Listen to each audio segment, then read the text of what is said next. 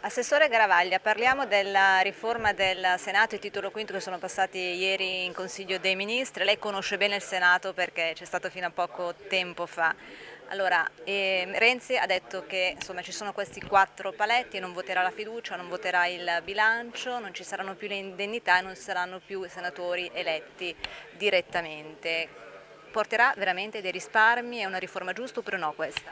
Ma I risparmi sono eh, relativi all'indennità dei senatori, quindi il risparmio effettivo di questo modello che tra l'altro eh, sotto questo aspetto era già il modello che avevamo portato avanti noi quando eh, stavamo completando la riforma, mh, mm, è, è quindi relativo a circa 54-55 milioni di euro, cioè l'indennità dei senatori specifici. Il resto chiaramente rimane tutto perché hai il personale, la struttura e quant'altro, quindi le cifre sparate sono le solite sparate di Renzi, del resto lo chiamavano il bomba a scuola perché le sparava grosse. Ma al di là delle battute, che sono battute fino a un certo punto, eh, ciò che conta è come funzionerà questo nuovo Senato e quali competenze avrà. Secondo noi è assolutamente fondamentale che ci sia una Camera delle Autonomie, Camera, Senato, quel che è, diciamo Senato perché adesso si è scelta sta via. Il Senato dell'autonomia quindi è assolutamente necessario perché completa la riforma federale dello Stato. Il buco della riforma fatta dalla sinistra eh, principale era questo, la mancanza di una Camera rappresentativa dell'autonomia. Ciò detto bisogna vedere come la fai. Certo, se, eh, se la fai come ha scritto Renzi, eh, in, modo cui, in, modo tale per cui il Molise, che ha 310.000 abitanti, ha gli stessi rappresentanti della Lombardia che ha 10 milioni di abitanti, se la fai così è un pesce d'aprile, del resto è il primo aprile. È ovvio che devi tener conto della dimensione delle varie regioni nella rappresentanza, questo è assolutamente importante. L'altro tema fondamentale è eh, definire bene le competenze, cioè quali competenze rimangono poi alle regioni, quali invece tornano allo Stato, quali eh, rimangono comunque concorrenti perché ci saranno sempre delle materie che sono a cavallo. Ecco, come Regione abbiamo elaborato un modello che funziona, quindi all'unanimità la conferenza Stato-Regioni, d'intesa tra l'altro anche con l'ANCI, ha trovato una modalità che può funzionare, cioè individuare una commissione bicamerale che va a dirimere le questioni del, di una serie di materie che inevitabilmente saranno eh, concorrenti. Pensiamo alla sanità è tutta regionale, ok, ma la determinazione dei LEA eh, può essere solo in capo allo Stato? No, è evidente che deve esserci una compartecipazione. Ecco, in questo modo si completa una riforma, si fa una cosa buona e giusta. Se invece si fa uno spot, eh, tale rimane e, e l'esito purtroppo non potrà che essere negativo. La decisione della bicamerale di cui parlava è quella che è stata raggiunta la settimana scorsa nell'ambito della conferenza delle regioni?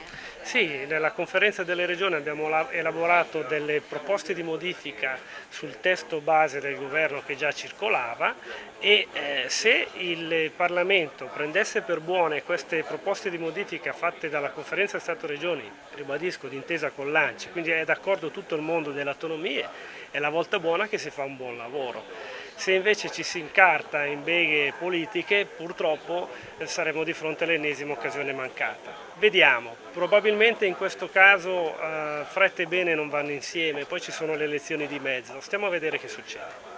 Il Ministro Boschi in un'intervista ieri ha detto che non ci sarà uno svuotamento delle regioni, casomai un limite dei poteri legislativi, però per esempio in materia fiscale ci vorrà la maggioranza assoluta della Camera se il Senato dirà dei no. Questo può essere una garanzia secondo lei oppure no? Mm, no, perché qui parliamo di eh, bilanci e competenze statali, quindi questo importa poco. Ciò che importa molto agli enti locali è il coordinamento della finanza pubblica. È giusto che, un, che i principi generali siano in capo allo Stato, ma è evidente che il coordinamento a livello locale deve essere lasciato alle regioni, altrimenti non funziona, semplicemente non può funzionare. Le faccio un esempio. Eh, con la legge sul pareggio di bilancio dal 2016 eh, l'obiettivo del debito viene definito a livello regionale, perfetto. E se è definito a livello regionale, come si fa poi a distribuire questo obiettivo tra i singoli enti? È ovvio che lo deve fare la regione d'intesa con i propri enti locali e con l'ANCI regionale. È chiaro che se questa cosa poi viene fatta a livello nazionale non funziona, come al solito viene fuori un pasticcio. Sono gli ultimi due punti di cui ha parlato ieri il Premier Renzi, uno riguarda l'abolizione del CNEL che ha detto è un primo passo, insomma un anticipo di quello che sarà la semplificazione della pubblica amministrazione, visto che lei la delega alla semplificazione le chiedo un parere. Beh, il CNEL è perfettamente inutile, quindi anche se lo abolisci non si accorge nessuno. Altro ultimo punto, ha detto adesso bisognerà approvare il DEF, documento di economia finanziaria, e poi arriveranno questi con dei decreti, un, questi 80 euro in più in busta paga, tra l'altro ha detto entro breve, secondo lei sarà possibile oppure no? Allora, per l'anno in corso, partendo poi a fine anno, a metà anno, servono 4 miliardi di euro. Sarà possibile trovarli? Oggettivamente difficile dato il rispetto dei vincoli europei e visto anche come sta andando il debito, il deficit e quant'altro.